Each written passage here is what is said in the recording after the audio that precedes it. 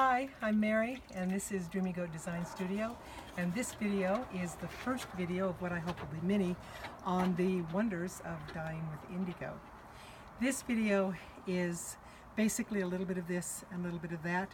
It's primarily for people who have never uh, made an indigo vat and so I'm just going to run through some of the things you may want to have in your inventory and we'll look at some of the things you may want to dip when the time comes, okay? So first of all, let me just say that I was exiled from my usual workstation because we are working on the back deck. So now I'm on the front deck, which is a much smaller quarters, but you can see that you can make it work, okay? So the first thing you're going to need as equipment, which you may not already have, is a pot that probably looks a little different than what you were using when you were dyeing with the other botanicals, uh, like Osage or Cochineal or Madder or what have you. What you want with indigo is a pot that is taller than it is wider. And that's because you don't want the fiber to get down to the bottom where the sediment is. And also you want a smaller opening, a smaller mouth, so there's less exposure to oxygen and that'll, um, that'll become more clear as we go on. But if you don't already have a pot, this is a good time to get one of these because it is the canning season. It is uh, late summer. Uh, and they will be available for you in grocery stores and hardware stores and the like. I have smaller ones because we are not going to be dyeing huge amounts at any one time. That's for you to do later when you want. I mean, I've seen vats that are uh, in plastic garbage cans, for heaven's sakes. They can be huge, but we'll think small. So get yourself a, uh, if you don't already have one, get yourself a pot that is taller than it is wider, okay? That's one thing you may not have. Another thing is you have to look at your heat source. Now if you see, I've got my old beloved burners here, but I'm using them as tabletops. I've just put tiles on top of the burners. I will not be using these because they give too much heat. I want less heat for an indigo vat. So I will use either something like this, where I can regulate my heat uh, better, have lower heat, or I'll use something completely different. But what I want to say is you don't really want temperatures uh, mm, any more than about 110, 120 at the most. So we really are talking about low uh, temperatures for our indigo vat. Now what I like to do is this. I like to get one of the big fat pots, canning pots, that I use just for regular dyeing. And I put an old funky one of these in And then I, I uh, let's pretend this is my indigo vat. I pour boiling water around this to keep this vat warm. Never gets too hot, and when it cools down, I can just lift this up, pour the water out, out and add hot boiling water. So think about this kind of a setup for your um, workstation. And let's see, what else might you not yet have? Uh, I'm guessing you have stirrers. Let me put this back here. I'm guessing you do have long stirrers. This is my old beloved.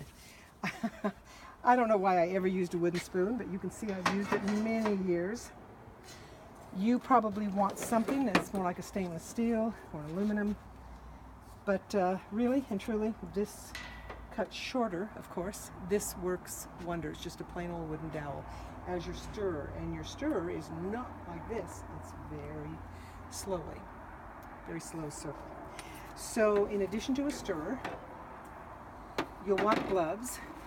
Now if you've been using this kind forever, these are still good. You can still use them for many things related to uh, indigo. But what you really want are these workhorses. You want to get the really thick rubber gloves, lined. Uh, you, you want them for when you are actually getting your hands into the vat. You know, you're moving fiber around or you're lifting fiber up. That pot of, of, uh, of uh, water will be hot, very hot. So you want to insulate your hands from the heat, and of course you also want the glove to be a little higher so that you won't um, dye your forearm. There are on the market some red gloves which you might be eyeing. They are the red ones that come all the way up here and they have the fluted, kind of the pleated arms. And they look really cool and you look like a really cool dyer. Don't buy them. Don't waste your money. Uh, they are, they do not protect you from the heat and you sweat ferociously inside. They're very uncomfortable gloves, even though they look kind of cool. Okay, so, oh, one more thing. Um, pH papers. Now, this particular box is from Indigo Instruments, indigo.com. They have all sorts of uh, options, pH strip options. This one in particular is for uh, indigo because it only tests from pH 7, which is neutral, it would be like a regular water, okay, up to pH 14. Very, very alkaline. We would never go as high as 14, depending upon what we uh, it will be between 10 and 11. But this is specifically for high alkaline solutions, which is indigo. So get yourself some pH strips. It doesn't have to be fancy like this. It can just be any old thing. And anything that can kind of indicate to you what your pH is. So this is kind of what you'll need. There is, of course, everything else. Um, you know, but that, that all the other equipment is what you already have from your earlier dye classes. And let me just show you this. This is just a pot, a specimen pot of the Japanese indigo, which you can grow at home, and I know many of you have, and many of you have made beautiful blues out of this. Now, I have no sun at my property, so here it is August. These things should be in full bloom, and of course they should there should be dozens of them in rows. This won't give me any blue in particular, but I love looking at the plant and it gives you an idea of what the indigo plant looks like. And I'm actually incorrect in what I said because I'm indicating that there might just be one type of indigo. That's not true. There are dozens upon dozens. Some are simply better blues though. And that would be, I guess your best is Indigofera tinctoria. Now, thing to remember about this, and this is where we're going to get to the really fun part, is that indigo is a warm climate plant and it grows most easily around the equator. You have indigo everywhere on every, every uh, hemisphere, every continent, I should say, on the hemispheres. Um, if you think about a warm climate plant, well, what do you wear in warm climates? You do not wear wool, you do not wear alpaca. You wear silk, you wear cotton, you wear linen, uh, you wear hemp, you wear those wonderful breathing type of fibers. So now in indigo, it means that you can dye with cellulose or plant fibers, not just animal or protein fibers. Um, this is excellent news. So let me show you some of the things that you can consider dyeing in your dye vat, in your uh, indigo vat, I should say. Okay. The first thing is what I talked about, and that is cotton. This is cotton lawn. You really do want to get yourself some cotton fabric if you're interested in some uh, shibori techniques, which we'll play with a little bit towards the end of this group. This is cotton lawn. This is, I should have pressed it beforehand. This is a cotton pennant with a, a with a star at the very end of it. This is from Dharma Trading, and this will hang on a pole, and it'll look much better then than it will than it does now. But again, it's 100% cotton. Silk. Here's a silk chiffon scarf blank. Here is silk. This is the mulberry or the bombyx silk. I'll be dyeing the silk in an indigo vat. Okay, so get yourself some of the um, cotton and the silk because really and truly they get, they pick up the indigo the best and you can also get the darkest indigo blues uh, uh, with these fibers. But we also have our old faithfuls, the ones we've been working with, all of these groups. Here is Ta-da, you recognize this? The Klickitat BFL yarn. And then we have loose fiber. This is Faith, the merino fleece. Uh, we have the wool flannel. We have a gray mohair.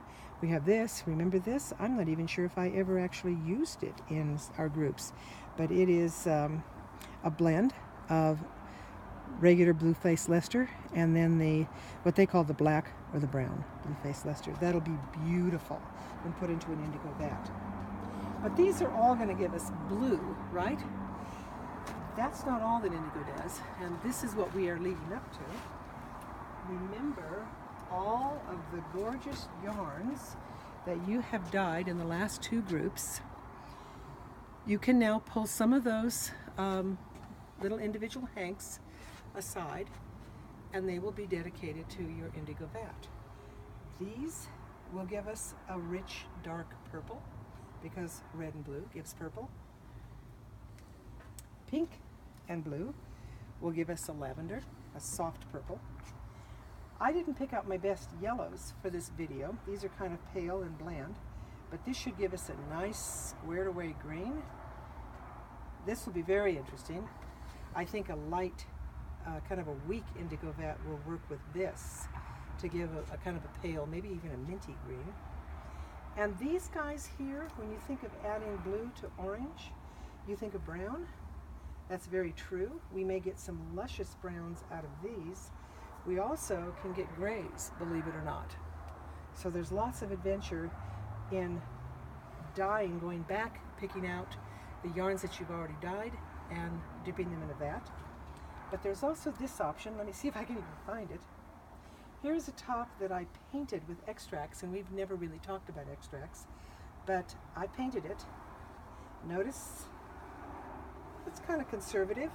It actually spins up into a beautiful uh, yarn, but I'm going to dip it and we will see what happens. I'm predicting blues, purples, maybe browns, maybe a green, I'm not sure. We'll see. And then the last thing I want to show you, and I just showed you, well hello, there's your little dog. I just showed you this with the cochineal, in the cochineal group. I wasn't 100% thrilled with the way the modifiers picked up or affected the bright red of this silk and wool blend. So I'm going to take this, take a big chunk of it, dip it in indigo, okay, and come up with, I'm hoping, another color. So we're going to have a lot of fun in this group. So what you have to do right now is kind of get an idea of what you need in terms of equipment and what you want to be dipping. But let me tell you this. Look at how much I have here. There's so much fiber. You're going to only be making a small vat to start with. So think small in your first vat. And I would also think just plain blue. Wait on these guys. Maybe, maybe not. And then if in fact you know you want to go further with this, uh, you can perhaps get some more indigo. I will give you my sources. Um, it's very easily available, all the ingredients for our first uh, indigo vat. So that actually will be our next um, uh, video. That will be making the first stock for our first vat. And this is going to be great fun. Okay, I'll see you very soon. Bye.